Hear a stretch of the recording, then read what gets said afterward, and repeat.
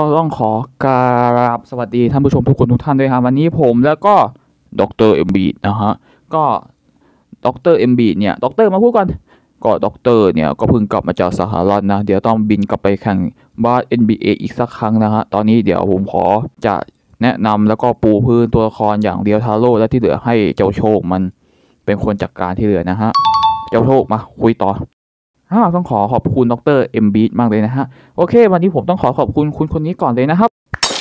ไม่ได้อะที่เออมาเขียนคอมเมนต์ไว้ในคลิปที่แล้วไม่รู้ว่าคลิปที่แล้วว่าคลิปเท่าไหร่แต่ต้องขอขอบคุณคุณมากเลยที่เหมือนแบบมามอบเชื้อเพลิง แบบเป็นอินสปิเรชันอะไรสักอย่างที่แบบเป็นแรงบันดาลใจให้แก่การกำเนิดคลิปนี้นะฮะต้องขอขอบคุณคุณมากเพราะว่าถ้าไม่ได้คุณผมก็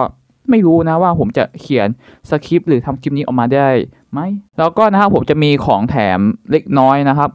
หลังจากเออจบไอที่คุณคนนี้เขาเสร็จแล้วนะครับ เรามาเริ่มกันเลยดีกว่าครับนงมามิเรียวทาโร่กับฮานาซึกิซึโบมิ ทั้งสองตัวละครเนี่ย ถ้าเราคือไม่เคยดูหรืออะไรเนี้ย เราก็อาจจะคิดว่ามันไม่น่าจะเหมือนกัน แต่ผมเนี่ยได้มีโอกาสดูทั้งสองเรื่องนี้แล้ว ผมก็บอกนะว่าบางส่วนที่ คล้ายๆกัน แล้วก็อาจจะไม่เหมือนกันแต่เล็กน้อยนะครับ ขอปูพื้นสำหรับคนที่ไม่เคยดูมาสค์ไรเดอร์เดนโอก่อนนะครับมาสค์ไรเดอร์เดนโอเนี่ยเรียวทาโร่เนาะจะเป็นชายหนุ่มที่ดวงซวยวันหนึ่งไปเจออิมาจินเจ้าโมโมทารอส แล้วก็ได้ปกป้องการเวลา แล้วก็ตามหาอดีต แล้วก็ปริศนาอะไรต่างๆนะฮะ ก็ฮานาซากิ สึโบมิเนี่ยสำหรับแฟนพรีเคียวอย่างเราก็รู้กันอยู่แล้วเนาะก็เคยดูเคยอ่านอะไรมากมาย แต่สำหรับคนที่ไม่เคยดูผมขอ อะปูสักเล็กน้อยนะครับฮานาซากิ สึโบมิเนี่ยก็จะเป็นสาวน้อยที่คล้ายๆกับเรียวทาโร่แต่เธอจะมีความขี้อาย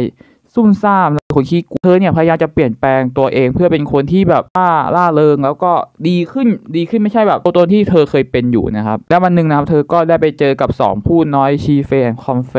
แล้วก็เจอกับผู้หญิงปริศนาที่ไม่รู้ว่าแต่งตัวแบบนี้นี่คนบ้าหรือเปล่านะครับ แล้วเธอก็ได้กลายเป็นพรีเคียวที่ยิ่งใหญ่ที่สุดในประวัติศาสตร์ของ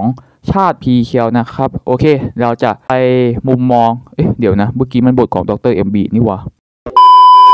เนื่งด้วยว่าไอโชคมันกินบทของผมไป ผมก็เลยต้องมานั่งพูดบทเออบางส่วนนะฮะ โอเค เรามาเริ่มเลยดีกว่าสำหรับตัวด็อกเตอร์นะ ทั้งสองตัวละครเป็นตัวละครที่มีพัฒนาการที่เห็นเด่นได้ชัด เป็นคนที่เริ่มจากอ่อนแอ แล้วค่อยๆพัฒนาจากอ่อนแอมากลายเป็นแข็งแกร่งและสองตัวละครนี้เป็นอะไรที่คนที่ญี่ปุ่นชื่นชอบเป็นอย่างมากเรียวทาโร่นั้นเป็นคนที่โชคร้ายแบบที่สุดที่สุด ก่อนหน้าเราจะได้ดูเจ้าเรียวทาโร่เราอาจจะไปติดภาพจำของพี่เทพเทนโดโซจิที่ทำอะไรก็เก่งเจ๋งไปหมดทุกๆอย่างเลย และพอมาดูเรียวทาโร่มันช่างแตกต่างกันกับฟ้ากับเหวคนอะไร แค่ตอนแรกก็ซวยมากตั้งแต่โดนนักเลงไล่กระทืบ ขึ้นไปติดบนต้นไม้แถมโดนอิมาจินไล่หวดนะฮะ เอาละฮะ ตัดภาพไปที่ เฮ้ยด็อกเตอร์นั่นบทพูดผม โอเคด็อกเตอร์กลับสหรัฐไปแล้วไป โอเคครับผมก็กลับมาแล้วนะครับ ตัดภาพมาที่สึโบมินะครับ ในมุมมองผมนะเออก็แค่ขี้อาย ซุ่มซ่าม แล้วก็บวกดวงซวยนะฮะ ถ้าใครได้ดูตอนที่หนึ่งของ h a r d c a p เธอก็อาที่จะแนะนำตัวก็ใช้เวลานานหน่อยนะในการแนะนำตัว แล้วก็เธอเนี่ยเป็นคนที่ชอบดอกไม้มาก แล้วเธอก็เหมือนกับเรียวทาโร่จิตใจดี แล้วก็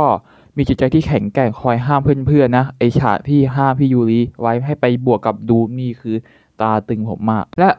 ตัวนักแสดงอย่างคุณซาโตะทาเครุกับนักพากย์เคียวบลอสซัมหรือซึโบมิอย่างคุณนานามิซึกิเนี่ย ก็หลังจากที่ไม่รู้นะ ขอคิดเองนะหลังจากที่แสดงและก็ภาคเนี่ย ทั้งสองคนก็น่าจะโด่งดังมาก ๆ ในญี่ปุ่น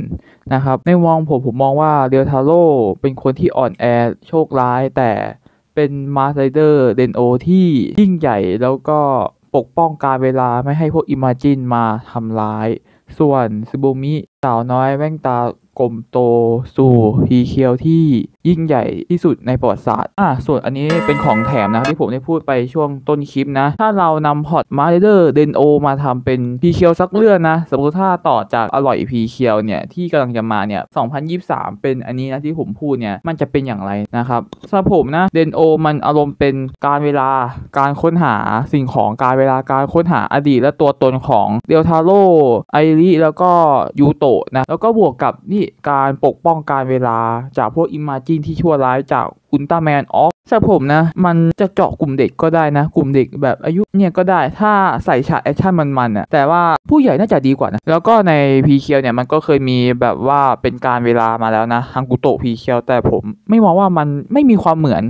กับเดนโอ ของเดนโอมันปกป้องการเวลาอันนี้มันแค่ปกป้องปัจจุบันคืออย่างเดียว การเวลาสำหรับผมมันต้องเป็นทั้งอดีตปัจจุบันอนาคตนะอ่าแล้วก็อันนี้ครับขออนุญาตข้าเป็นตัวเอกเลยนะครับสำหรับผมนะ ตัวเอกพรีเคียวผู้นำนะ จะเป็นสีอะไรก็ได้นะสมมตินะ ผมอยากให้เป็นเหมือนแบบซากุไรยูโตะที่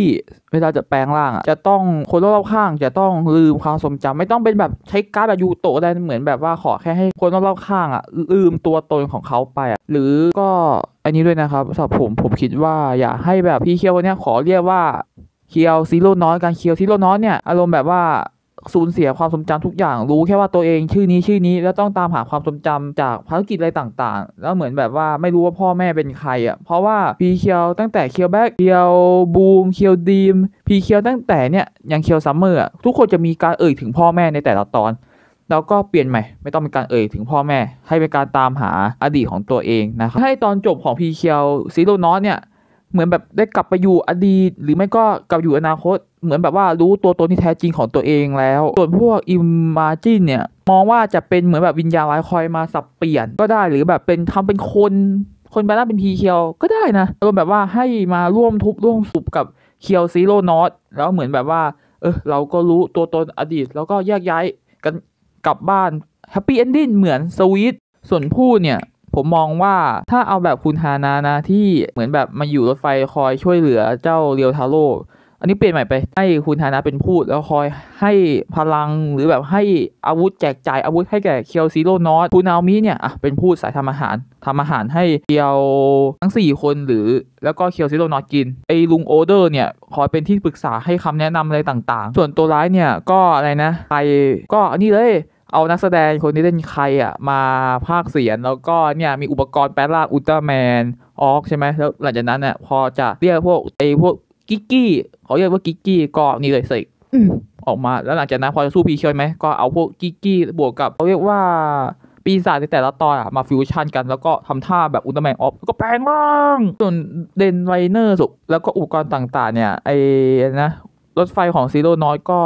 จะให้เป็นแบบนี้ก็ได้นะว่าเป็นอุปกรณ์หรือประตูมิติไปไหนก็ได้อะเออ แบบนี้ก็น่าจะเท่อีกแบบ ส่วนถ้าให้พวกอิม g จ n นแล้วก็ตัวเอกเป็นสีอะไรหรออะเอานี้ก่อนแล้วกันนะถ้าให้เรียวทาโร่เป็นสีอะก็คงต้องสี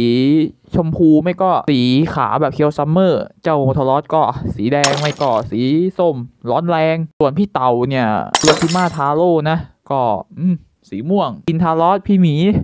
สีเขียวไม่เอาเหลืองละพอ แล้วก็นี่เลยริวอุตะหรือริวทารอสเนี่ยเดินลอยตามเคียวมารีนไปค่ะไปหน้าไป ส่วนส่วนสกูอิยูโตะเนี่ยที่ผมพูดไปตอนแรกว่าถ้าเอาคาแรคเตอร์แบบสกูอิยูโตะมาทำเป็นตัวเอกเนี่ย สมมติถ้าเขาไม่เอานะ ถ้าเขาเอาแบบว่าเออยูโตะเนี่ยเป็นแบบนี้แบบนี้เหมือนแบบต้นฉบับก็ผมคิดว่าน่าจะสี เออเขียวไปอย่าคิดไม่ออกอไม่ก็สีเหลืองไปอะต้องขอโทษด้วยนะครับ ถ้าผมพูดผิดพลาดแล้วก็ส่วน Mother d e n o เนี่ยถ้าใครเป็นแฟน Mother d e n o ผมต้องขอโทษด้วยถ้าผมพูดอะไรที่มันผิดพลาดจนเกินไปนะครับ ก็ต้องขอโทษด้วย โอเคครับคลิปหน้าก็อาจจะเป็นคอนเทนต์มาไ d เดอร์กับพีเคียวนะครับ เดี๋ยวประมาณสักสามอาทิตย์ก็น่าจะมาแล้ว อาจจะแบบมีคลิปอื่นมาแทรกหรืออาจจะ เร็วกว่านี้ประมาณสักหนึ่งอาทิตย์ก็น่าจะมาแล้วนะครับต้องขอโทษด้วยนะครับ โอเค คลิปนี้ผมขอลาก่อนนะครับ สวัสดีครับ ขอโทษด้วยนะครับ ถ้าผมพูดผิดพลาดไป